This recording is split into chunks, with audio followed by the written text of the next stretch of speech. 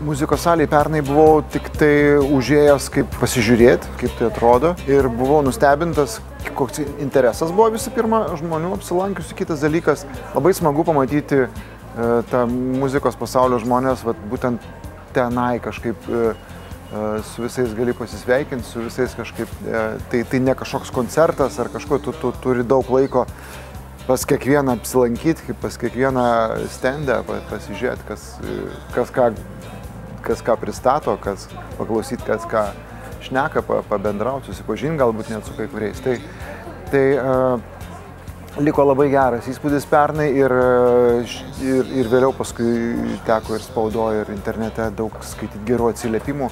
Žmonės labai jiems, na, vis, visi tą tokį gerą jausmą tenai turėjo. Tai, Tai, tai šiemet jau tada pagalvojau, kad ir aš norėčiau būti dalyvis, nes e, tai kažkaip smagu, iš tikrųjų labai smagu. To, tokių renginių, kažkokių va, tokių Lietuvos muzikos pasaulyje labai trūksta.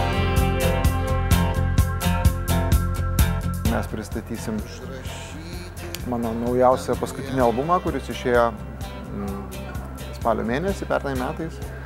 Ir šiemet turim ypatingą naujieną, tai yra e, tas albumas yra į, į, į išleistas vinilo plokštelėje. Tai paskutinį kartą vinilo plokštelę e, aš dar su grupė Foje mes išleidom prieš 22 metus, 94 metais. Tai po, po 22 metų pertraukos e, mano muzika vėl yra įspausta į vinilą, yra gražiai, gražiai, e, gražiai atspausinta, gražiai išleista, yra dainų tekstai, yra paveiksliukai, yra aišku pati pati plokštelė, aš jau ją uh, iš, iš, išbandžiau, jinai puikiai skamba, tai uh, tiems, kurie, kurie uh, vėl serga tą, kabutėse serga tą lygą, klauso muzikos iš vinilo plokštelių, tai aišku, tai Lietuvos muzikos mylėtojams tai yra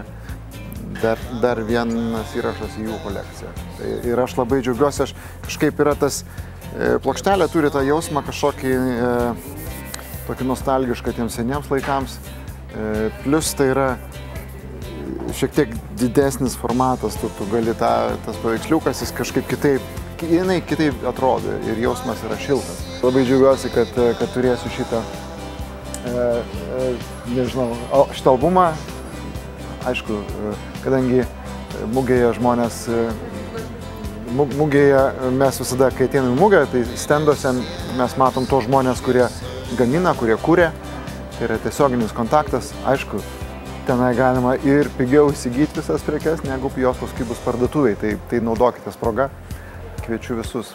Manau, kad muzikos salėje rasite daug, daug įdomių dalykų.